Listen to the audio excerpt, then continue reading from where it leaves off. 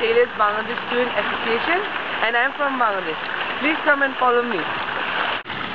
Bangladesh, officially the People's Republic of Bangladesh, is a country in South Asia located on the fertile Bengal Delta. It is bordered by Republic of India to its north, west and east, by the Union of Myanmar to its southeast and by the Bay of Bengal in its south. The Bengali language boasts a rich heritage with Bangladesh shares with the Indian state of West Bengal. The earliest literary text in Bengali is the 8th century Charyapada. Bangladesh has also a long tradition in folk literature. The 98% of Bangladeshis speak Bengali as their mother tongue as it is the official language. It is an Eastern Indo-Aryan language with its own script. Bangladesh is the only country in the world who has fought for the right of language. Bangla is the mother tongue of the Bangladeshis and it is the language that connects the hearts and millions of people in Bangladesh. After Bangladesh gained independence from Pakistan, secularism was included in the original constitution of Bangladesh in 1972 as one of the four state principles.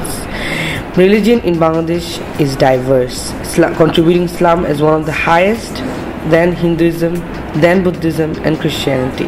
Bangladesh is famously known for the world's longest beach and it is the world, world's United Nations heritage.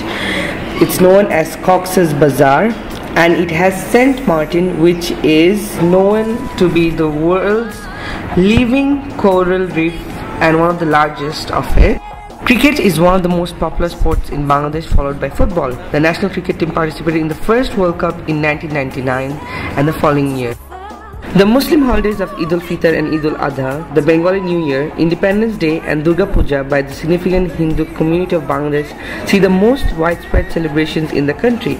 Other major Hindu festivals are Kali Puja, Saraswati Puja and Krishna Janmashtami alongside the Buddhist festival of Buddha Purnima which marks the birth of Gautama Buddha and Christmas called Borodin which means the Christmas day.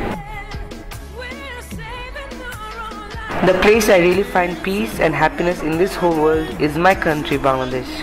I call it my God.